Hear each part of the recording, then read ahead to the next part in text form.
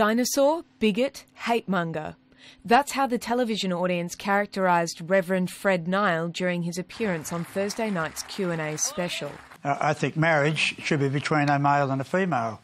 That's, that's history. Uh, not just uh, Fred Nile's opinion, but every society for thousands of years and every religion has had that view that marriage is between a male and a female. Clearly outnumbered in a panel that featured vocal proponents of the LGBTIQ rights movement in Australia, Fred Niles stood by his principles.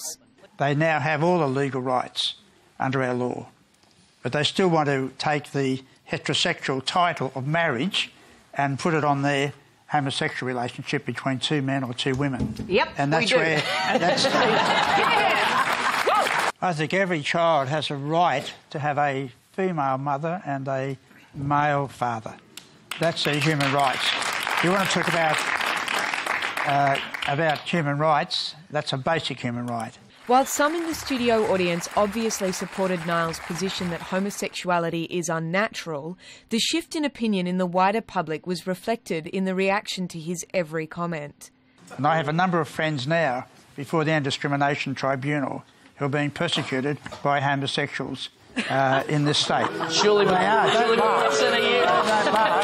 All right, don't throw fruit or anything. But, as one Twitter user pointed out, Reverend Nile didn't appear to be moved by any of the arguments he heard.